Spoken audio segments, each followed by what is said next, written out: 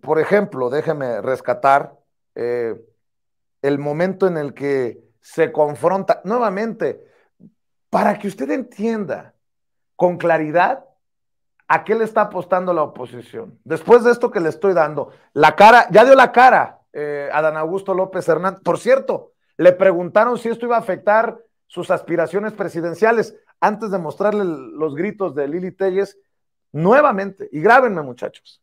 El secretario de Gobernación, Adán Augusto López Hernández, ante medios, dando la cara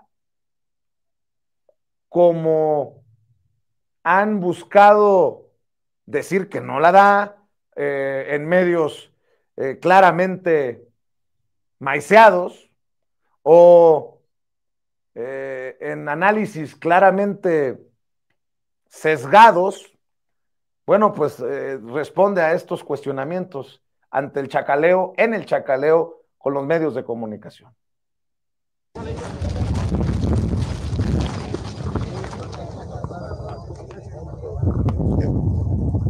Es una inversión conjunta, inversión extranjera directa, inversión mexicana, sino porque es una muestra más de la confianza de la iniciativa privada en la integración total del proyecto del transismo.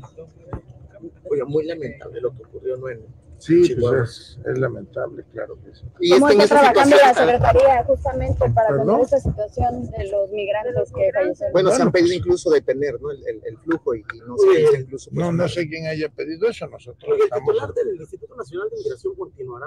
Pues si me permite, termino primero acá y ahora...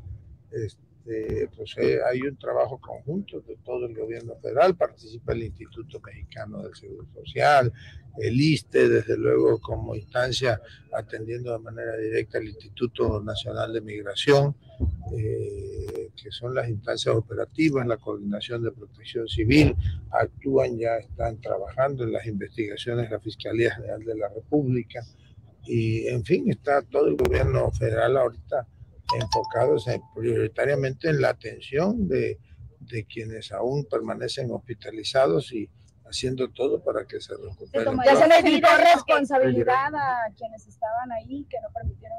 Bueno, yo creo que eso en todo caso será la autoridad jurisdiccional, la fiscalía, quien informará de ello. Y tomará algunas este, acciones. Aquí también en el sur de Veracruz hay una estación migratoria que pues está saturada, también es lo que han comentado las propias autoridades. Bueno, habrá que revisar la situación.